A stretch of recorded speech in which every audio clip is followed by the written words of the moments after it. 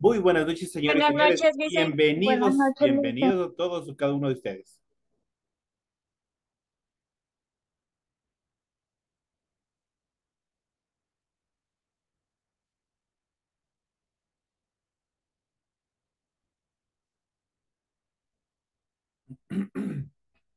Señores y señores, bienvenidos al desarrollo de la actividad correspondiente a la materia de inglés. Eh, y estamos ya en la unidad número 5, en el, en el tema número 1. Vamos a desarrollar todas las actividades eh, concernientes a esta actividad. En pantalla ustedes ya pueden observar el formato para recursos de aprendizaje de tarea. Estamos en la asignatura de inglés, en la unidad número 5, gramática, con el tema número 1. Vamos a ver los adverbios en inglés tienen ustedes el tipo de tarea, el objetivo de la tarea y a continuación tienen las instrucciones en relación al, eh, al desarrollo de la tarea. Muy buenas noches, compañera, ¿cómo está? Eh, eh, mm, eh, recuerden que el trabajo es individual, deben leer el compendio de unidad 5, tema número 1, pueden ampliar su información sobre el mismo tema con otras bibliografías de ser necesario. ¿Qué es lo que tienen que hacer en esta clase, en esta tarea? Dice, desarrolla las siguientes actividades, contesta las siguientes preguntas. La primera dice los adverbios en inglés o adverbs son. Ahí tienen que poner cuáles son los adverbios en inglés, obviamente inglés y español. ¿Cuáles son los adverbios? La siguiente dice explique cómo formar, cómo formar los adverbios en inglés. Ya de hecho ahí ustedes tienen que eh, describir las reglas gramaticales en función de la formación de los adverbios. Eh, tienen con, obviamente con ejemplos en inglés. La siguiente dice escriba dos oraciones que utilicen adverbios en inglés. Obviamente de eso tiene que ser eh, adverbios de negación en inglés, tiene que ser español, inglés, esas oraciones. La siguiente dice escriba dos oraciones que utilicen adverbios de afirmación, obviamente español, inglés. Y por último dice escriba cuatro adverbios irregulares, español e inglés. Es lo que tienen ustedes que hacer para el desarrollo de esta semana. Recuerden que deben entregar la actividad de forma escrita, clara y ordenada o deben utilizar combinaciones de colores, líneas, símbolos, imágenes de ser necesario. La rotulación de la hoja es fundamental, eso tiene que ser obligatorio previo al desarrollo de las actividades, previo al desarrollo del, de la tarea. Deben igual eh, revisar las recomendaciones, la rúbrica de calificaciones para que su eh, tarea cumpla con lo que se establece, con lo que se le solicita para que tengan una buena calificación. Y al final tenemos la información para el desarrollo de los recursos de plataforma. Estamos en unidad número 5 con el tema adverbios de la semana número 1 del 19 de junio del 2023. Esta eh, tarea permite entregas desde el 19 de junio, la fecha límite de entregas es el 31 de julio y la fecha de publicación de calificación será hasta el 5 de agosto del 2023. Así es que esas son las actividades en función de eh, los tiempos que ustedes tienen que eh, entregar. Esta y ya las tres tareas más que se les va a venir y que con eso estaríamos dando por terminado este periodo académico. Así que sigan presentando a tiempo todas sus actividades. Verán que ya tienen abierto el foro correspondientes a esta última unidad, que es la unidad número 5, la unidad número 5. Así que por favor sigan desarrollando, sigan viendo, sigan revisando. Y espero que les vaya súper bien. Cumplan con todas las actividades a tiempo.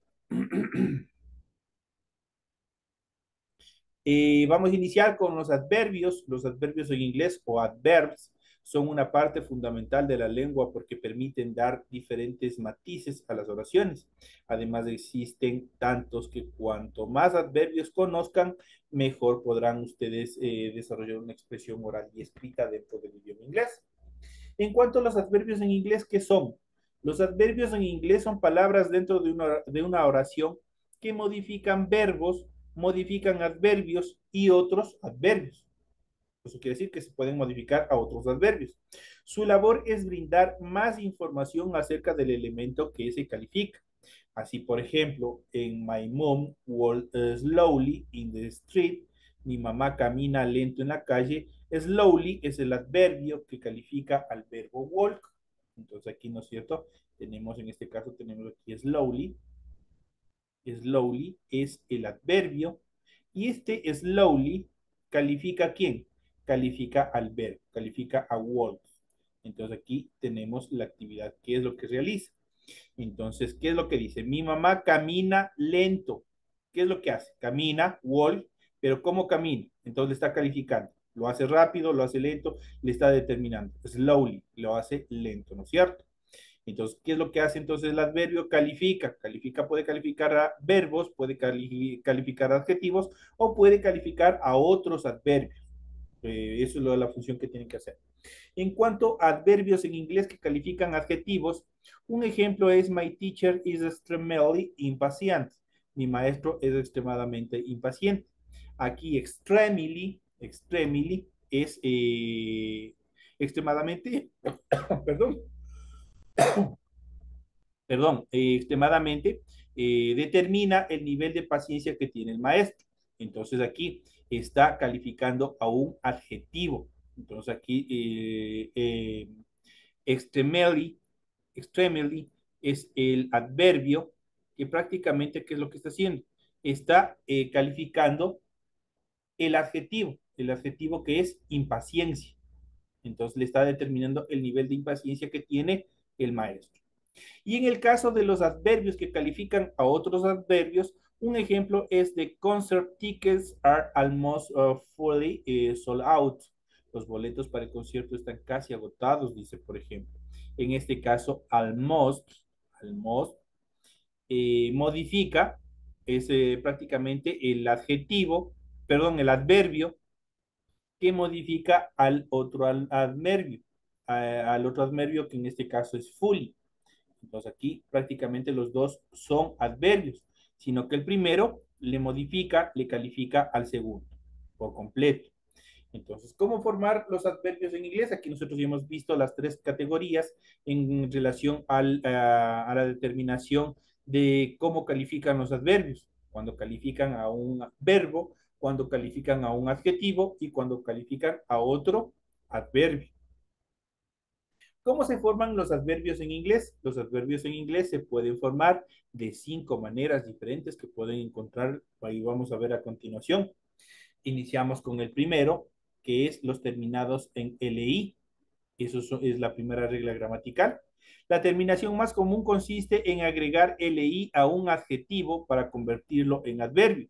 Eso quiere decir que todo adjetivo se puede transformar a un adverbio ¿Cómo? Agregándole la terminación LI al final y de esa manera estaría completa la transformación. Por ejemplo, tenemos como adjetivo, tenemos bad, que es malo. ¿Qué es lo que hago? Simplemente, de acuerdo a la regla, a la regla gramatical, simplemente yo le pongo al final, le pongo la terminación LI.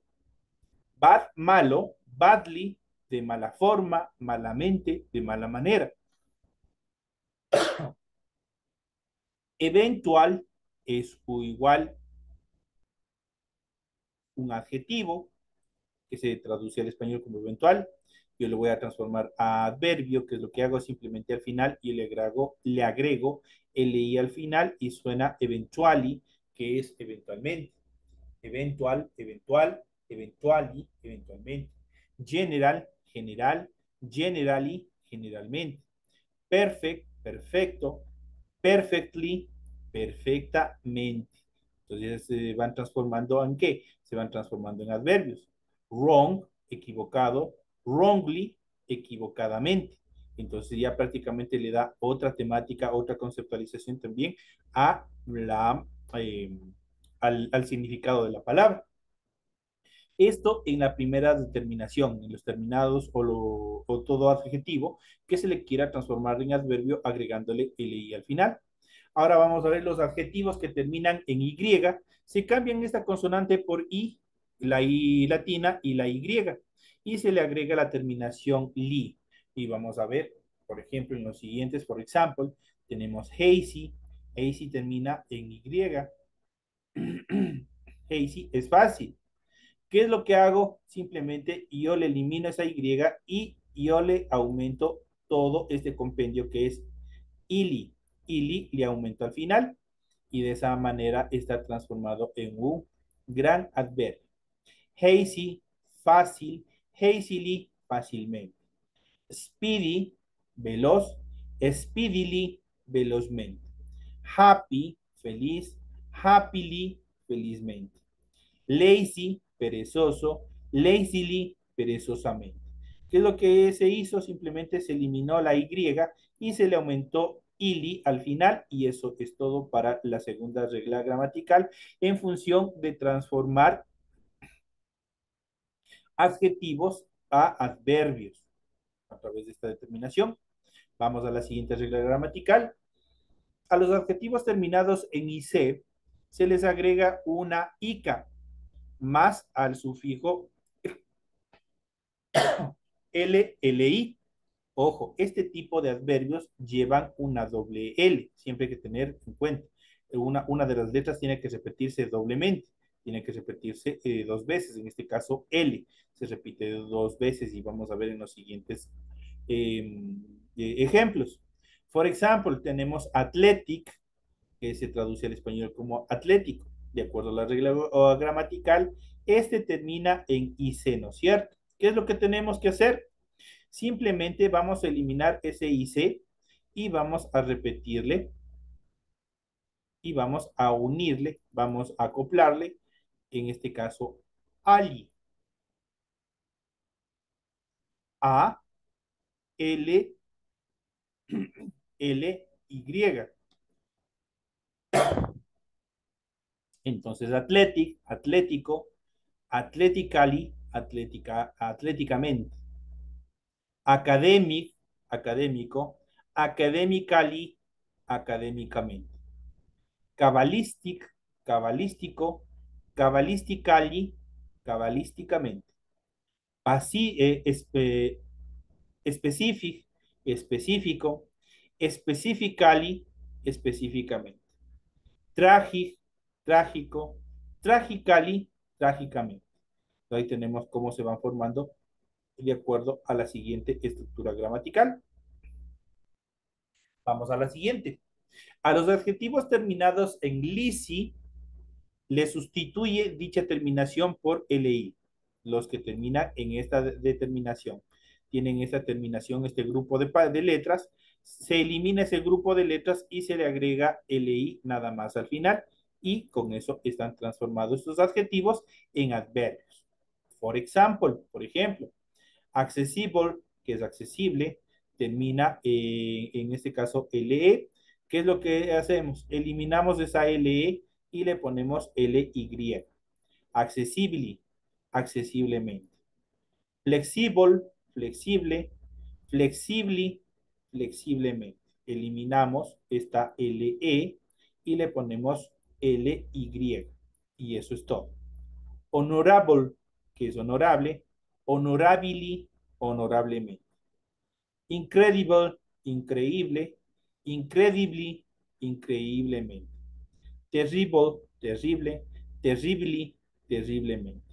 ¿Qué es lo que hicimos? Simplemente para transformarle adverbios a todos estos adjetivos, simplemente le, le agregamos al final, eliminamos las dos últimas letras, que en este caso es LE, y aumentamos eh, le suplantamos por LY. Y eso es todo para transformar de adjetivos a adverbios.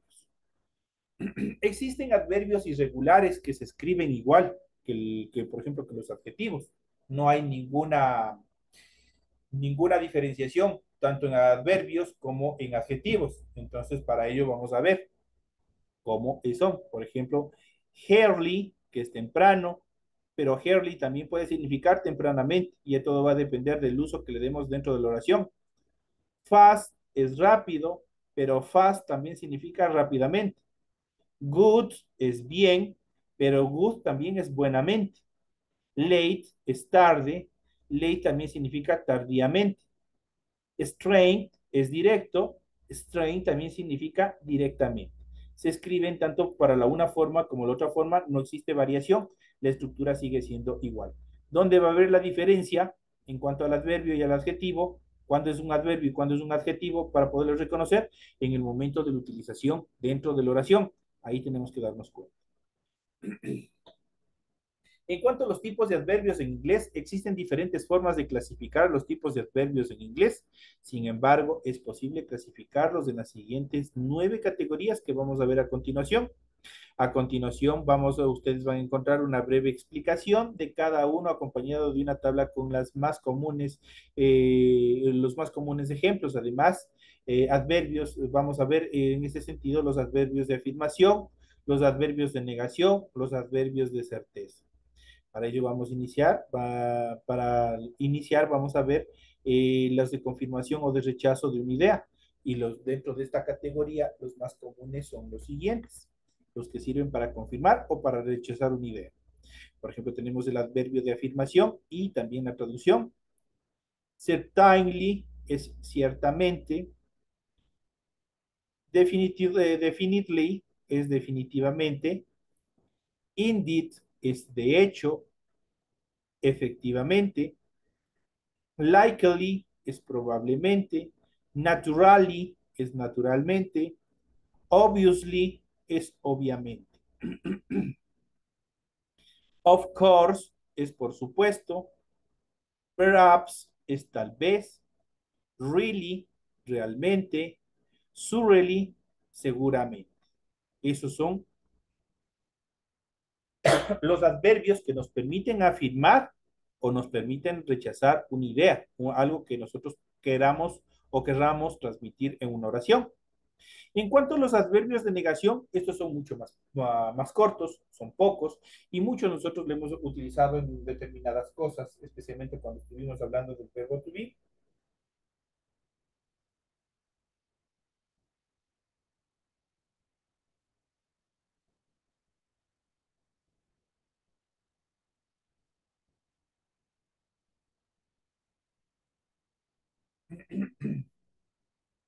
Entonces aquí nosotros hemos, eh, incluso esto nosotros lo hemos eh, utilizado cuando estábamos hablando del verbo to be, cuando estábamos haciendo la negación, ¿no es cierto?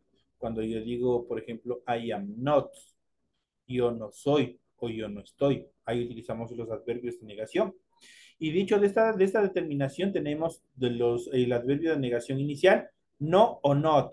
Es un adverbio cuando una se da una respuesta negativa a algo y eso significa un rotundo no. Cuando utilizó el not, significa algo no. Otro adverbio de negación es never. Never significa nunca. Y tenemos el siguiente, not at all, para nada. Cuando,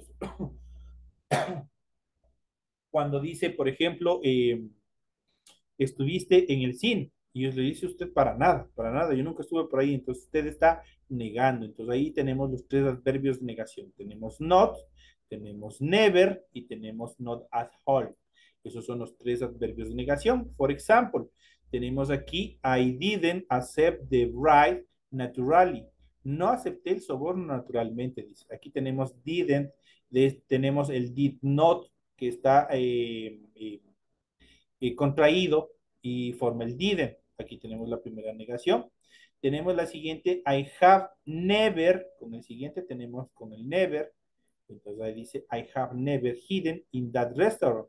Yo nunca he comido en ese restaurante, dice. Entonces aquí ahí están dos ejemplos de cómo nosotros podemos utilizar estos adverbios de negación.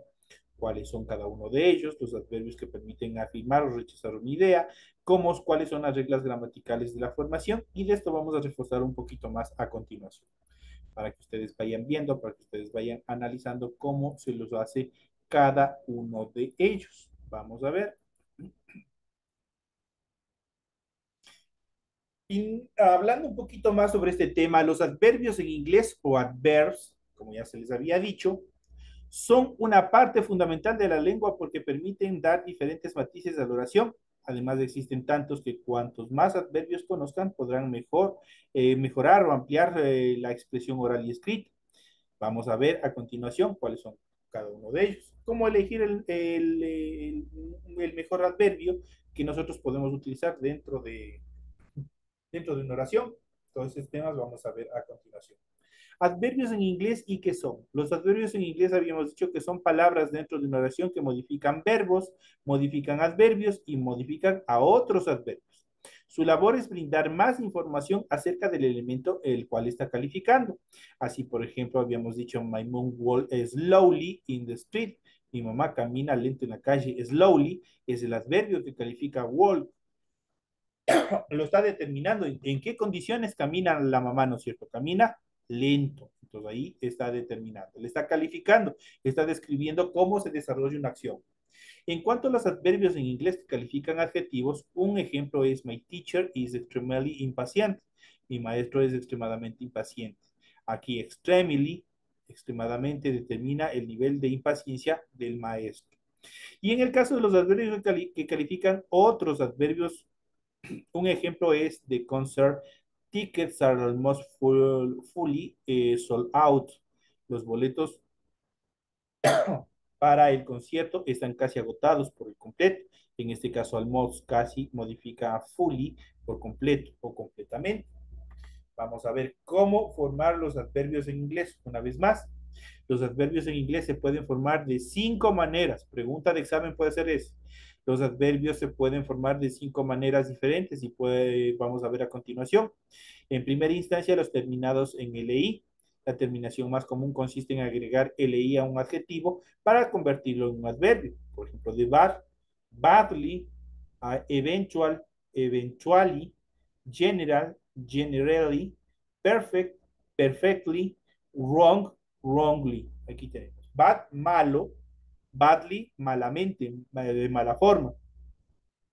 Eventual, eventual, eventually, eventualmente. General, general, generally, generalmente. Perfect, perfecto, perfectly, perfectamente. Wrong, equivocado, wrongly, erróneamente.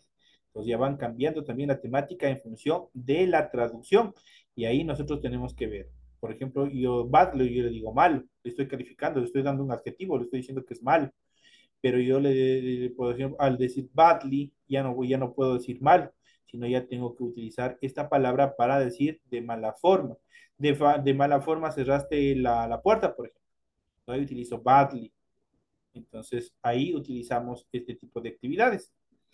La siguiente regla dice, en los adjetivos que terminan en Y se cambia esta consonante por I, eh, la I normal y la Y, y se le agrega la terminación li. Por ejemplo, hazy, tenemos terminación en Y, se elimina esa Y y yo le aumento ili al final y de esa manera quedaría hazy fácil, hazily fácilmente. Speedy, veloz, speedily, velozmente.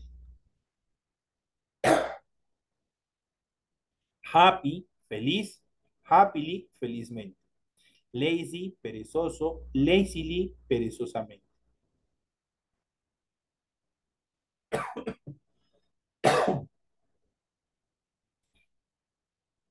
La siguiente regla gramatical dice a los adjetivos que terminan en IC se les agrega una ICA más el sufijo LLI. En este caso, la L ya sabemos que se duplica para poderlos formar a los adverbios, en este caso de los adjetivos a los adverbios.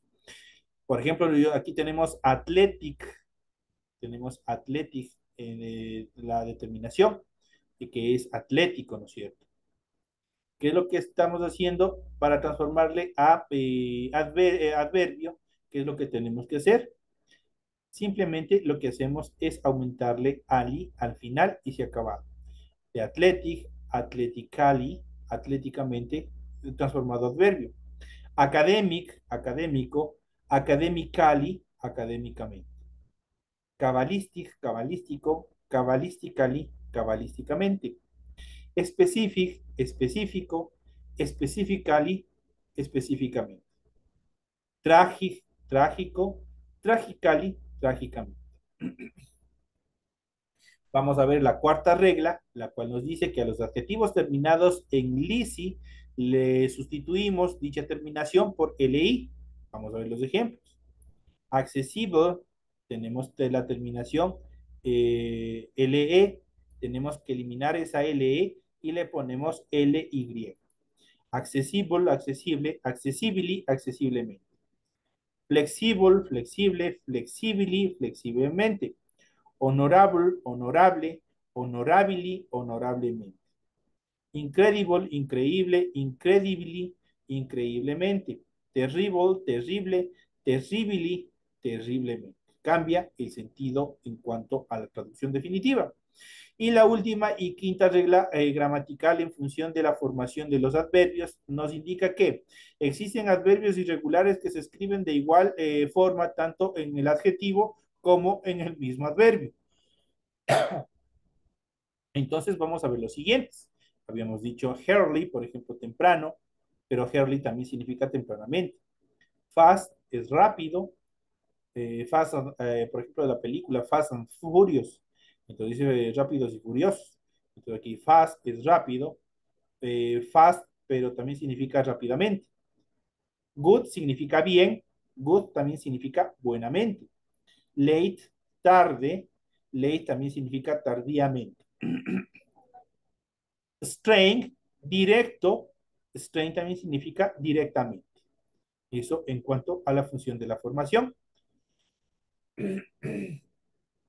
En cuanto a los tipos de adverbios en inglés, existen diferentes formas de clasificar a los tipos de adverbios en inglés. Sin embargo, es posible clasificarlo en las siguientes nueve categorías que hemos de ver en el transcurso de las, de los siguientes, eh, de las siguientes clases. Pero vamos a ver, vamos a iniciar por las dos primeras que nosotros hemos visto y que hemos ido analizando en clase. Y vamos a ver los primeros, los adverbios de afirmación, de negación y de certeza. Sirven para formar o rechazar una idea. Los más comunes son los siguientes. Entonces ya sabemos, son los adverbios que nos permiten afirmar, que nos permiten negar y no, que nos permiten determinar una certeza. Estos nos sirven para confirmar o rechazar una idea. Por ejemplo, tenemos certainly, que es ciertamente, eh, definitely, definitivamente, indeed, de hecho o efectivamente, literally, probablemente, naturally, naturalmente, obviously, obviamente, of course, por supuesto, perhaps, tal vez, really, realmente, surely, seguramente. Ustedes ven la mayoría de ellos terminan en LLI o en LI, la mayoría. Obviamente estos son los que obviamente son adverbios que nosotros utilizamos y que ustedes solo con esta determinación del ver que tienen una L, una Y al final, ustedes ya saben que estos automáticamente son adverbios. Ahora nosotros de acuerdo a la traducción tenemos que ver si es adverbios de afirmación, si es adverbios de negación o si son adverbios de certeza. En estos, en estos casos, nosotros los que acabamos de ver, si yo digo ciertamente, es un, es, un adverbio de certeza. Definitivamente, igual es uno que un adverbio de certeza. De hecho, efectivamente, es de certeza. Probablemente estoy dando una probabilidad, no estoy al 100% afirmando. Estoy dando una determinada certeza. Probablemente, naturalmente, obviamente, por supuesto, tal vez, realmente o seguramente. En cuanto a los adverbios de negación, ya habíamos visto que los adverbios de negación prácticamente son solo tres, facilitos. El primero, el que más se utiliza, el not.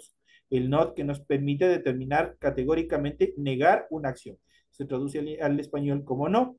Never, que es nunca. Not at all, que es para nada. Y aquí tenemos las oraciones en función de, de eh, los ejemplos en cuanto a los adverbios de, de, negación. Tenemos aquí el primero, I didn't, que es la primera negación, que es eh, la contracción de, did not. Y tenemos el otro que es never. Tenemos las dos determinaciones. en cuanto a la primera, dice I didn't accept to the bride naturally no acepté el soborno naturalmente. En este caso, con el adverbio naturally, estoy dando una certeza de que yo no hice esta actividad, de que yo rechacé lo que se determina ahí. La siguiente dice, I never hit in the, that restaurant.